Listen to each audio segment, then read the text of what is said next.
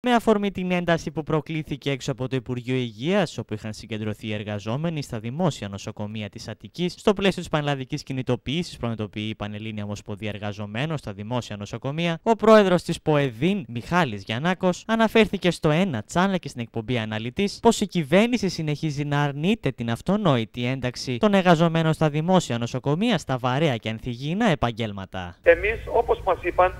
μία αντιπροσωπεία εργαζόμενων προσπαθήσαμε να δούμε τον Υπουργό Υγείας, να μπούμε στο Υπουργείο. Και φοβούμενοι οι αστυνομικοί ότι Μπορεί θα να γίνουν προσπαθήσουν, ότι θα προσπαθήσουν όλοι οι συγκεντρωμένοι να μπουν στο Υπουργείο, όπως προηγούμενες φορές, ενώ δεν υπήρχε καμία τέτοια πρόθεση και φαίνεται αυτό και από τα βίντεο που έδειξε η τηλεόραση, αρχίσαν από τον τέταρτο που πέρασε μέσα να μας χτυπάνε. Και μιλάμε για ξύλο, όχι για ε, ψηλές, αυτό δηλαδή είναι απαράδεκτο πράγμα που πια νομίζω ότι και να το καταδικάσεις δεν παίζει και πολύ μεγάλο ρόλο.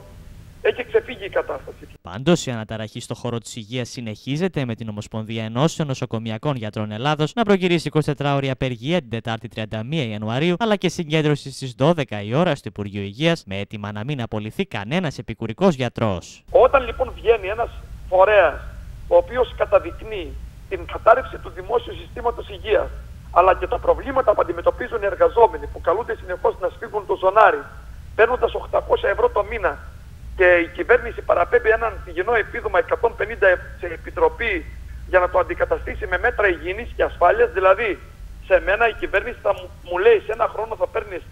κάτω από το μισθό του ανειδίκευτο εργάτη, 650 ευρώ το μήνα, και θα μου δώσει δύο παπούτσια ή ένα ζευγάρι παπούτσια παραπάνω.